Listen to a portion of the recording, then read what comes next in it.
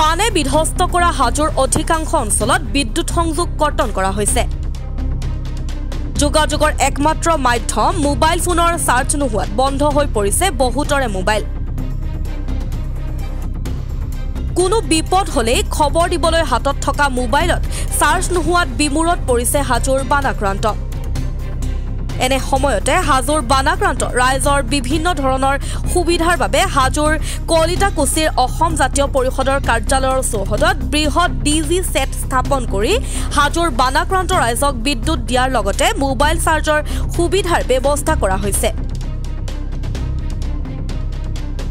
বৰ্তমান হাজোৰ A J P কাৰ্যালয়ৰ চৌহদত দুই শতাধিক লোকক আশ্ৰয় শিবিৰ স্থাপন কৰি ৰখাৰ লগতে খোৱা লোৱাৰ ব্যৱস্থা কৰা হৈছে।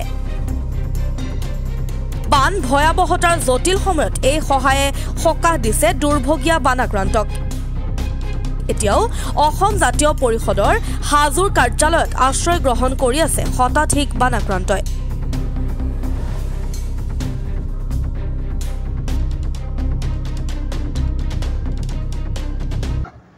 আজি প্ৰায় ছয়দিন ধৰি হাজো সমগ্ৰ হাজো অন্ধকাৰ সকলোৱে গম পায় এইফালে পানী এতিয়ালৈ কম আজি অকণমান দুই ইঞ্চি তিনি ইঞ্চি যদিও কমিছে তথাপি কিন্তু এতিয়াও মানে গোটেই হাজো অঞ্চল ডুবি আছে। আজি মই ধৰি লওক এইফালে চৈত্যতনা গাঁও পঞ্চায়তত গ'লোঁ বাৰাঙাটিলৈ গ'লোঁ কয়াবৰফুলা গ'লোঁ কলিতাকুচি গ'লোঁ মথাউৰিত আমাৰ যিখিনি যিসকল বানপীড়িত লোক আছে সকলোকে দেখা সাক্ষাৎ কৰিলোঁ।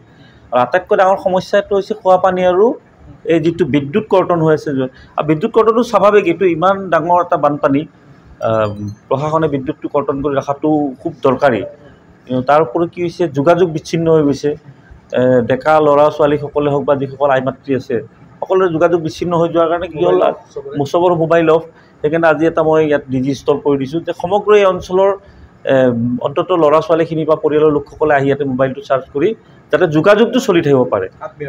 আত্মীয় আত্মীয়ৰ লগতে হওক বা প্ৰশাসনৰ লগতে হওক বা কাৰণ বিভিন্ন ধৰণৰ সমস্যা থাকে মোবাইলটো হাতত থাকিলে অন্ততঃ খবৰটো দিব পাৰে। বা কোনোবা আত্মীয়ৰকৈ হওক বা প্ৰশাসনকে হওক বা কিবা এটা বিপদত পৰি আছে কিন্তু আটাইতকৈ ভাল কথা যে ইমান ডাঙৰ বানপানীৰ সময়ছোৱাত এতিয়ালৈ হাজো সমষ্টিত কিন্তু এইটো এটা অঘটন হোৱা নাই। কিছুমান ধৰি লওক ভিতৰুৱা কথা আছে আজি মই বানপানীৰ সময়ত ক'ব নোখোজোঁ। মই এটাই অনুৰোধ কৰিব খোজোঁ প্ৰশাসনক মই কোনো ইয়াতে বিধায়ক বা কোনো বিধায়কক মই ক'ব খোজা নাই।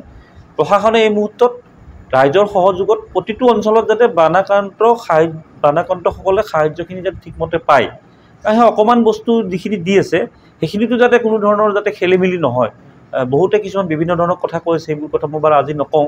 পৰিস্থিতি স্বাভাৱিক হওক এই মুহূৰ্তত প্ৰতি অভিযোগ অভিযোগ দিয়াতকৈ সকলোৰে লগগোট একগোট হৈ এই বানাক্ৰান্ত ৰাইজক উদ্ধাৰ কৰিব লাগে। সেইটোৱে মই সকলোকে অনুৰোধ জনাইছোঁ। আপোনালোকৰ ভৱনত আৰু অসম জাতীয় পৰিষদ পৰিষদৰ ভৱন কাৰ্যালয়ত আপোনালোকে আহ, আশ্ৰয় শিবিৰ স্থাপন কৰিছে। হয়। এতিয়া ধৰি লওক ইয়াতে যোৱা ৰাতিও প্ৰায় দুশৰ ওপৰত আছিলে। আৰু ৰাত নিশা আমাৰ যেতিয়া ধৰি লওক কাম ইয়াতে যোৱা ৰাতিও প্ৰায় দুশৰ ওপৰত আছিলে। আৰু ৰাত নিশা আমাৰ যেতিয়া ধৰি লওক কাম কামে কাজে থাকে দিনত বিভিন্ন ধৰণৰ বানপীড়িতৰ সহায় কৰি থাকি ৰাতি ইয়াত আহি উপস্থিত হৈ মহিলাসকল আছে দেখিছে। আৰু ইয়াত বুলি কোনো নাই ইয়াত যিমান আহে থাকিব পাৰে। এইটো এটা মস্ত অঞ্চল এটা আছে আমাৰ ফ্ৰণ্টতো এটা ঘৰ আছে। তাতো আছে কিছুমান পৰিয়ালৰ লোক। আহিছে গৈছে ক'ৰবাত কাৰোবাৰ ঘৰত যদি পানী কমিছে আজি আকৌ মনাকুচি অঞ্চলত বেছিকৈ পানী হৈছে। আপোনালোকে নিশ্চয় গম পায়। মনাকুচি এতিয়া ভাঙিছে মনাকুচিৰ মই মই যাওঁতে ৰাস্তাটো ঠিকে আছিল আহোঁতে দেখিলোঁ পানীত ডুব গৈ আছে।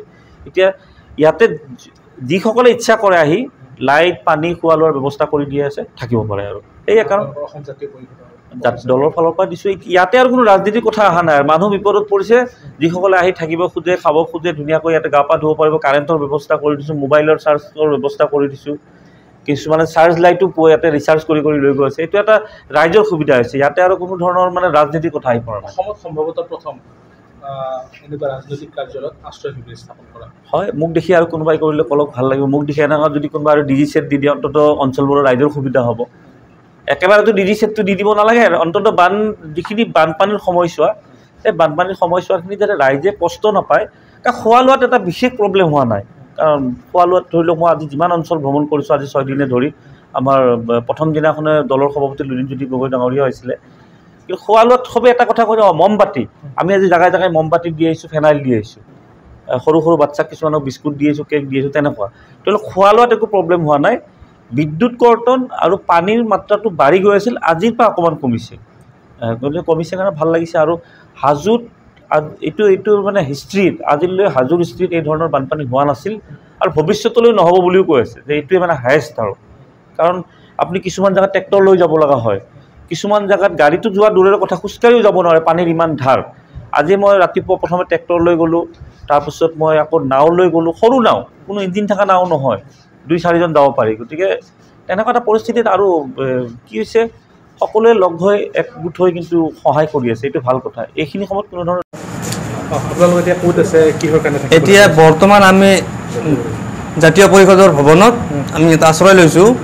এনে ঘৰত মানে বানপানী অজস্ৰ বানপানী বানপানীৰ কাৰণে ঘৰত থাকিব পৰা অৱস্থা নাই। নাই কাৰণে ঘৰত বহুত দিন পৰি থাকিলোঁ এনেকৈ। চাঙত ইটা জৰা দি হওক চাঙৰ চাং ফেলাই হওক এনেকৈ থাকিলোঁ চাৰি পাঁচদিন তাৰপিছত থাকিব নোৱাৰা অৱস্থা হোৱাৰ পিছত গম পাই জাতীয় পৰিষদৰ ভৱনত তাৰমানে আশ্ৰয় শিবিৰ কৰি দিছে। গম পাই ইয়ালৈ আহিছোঁ ইয়াতে এতিয়া আহি থাকিছোঁ ধুনীয়াকৈ থাকিব পাৰিছোঁ। খাৱাটোও পাই আছোঁ সময়মতে। এনেকৈ আশ্ৰয় লৈ আছোঁ বৰ্তমানলৈকে। আৰু অকল আমিয়ে নহয় বহুত পৰিয়াল আছে ইয়াতে। মোটামুটি নাই বুলি ক'লে আপোনাৰ শ পৰিয়ালৰ ওপৰত আছে। আৰু কেতিয়াবা দুই এজন কমিও যায়। ঘৰত কিছুমান পানী অলপ কমিছে বুলি শুনিছোঁ গৈছে চাগে।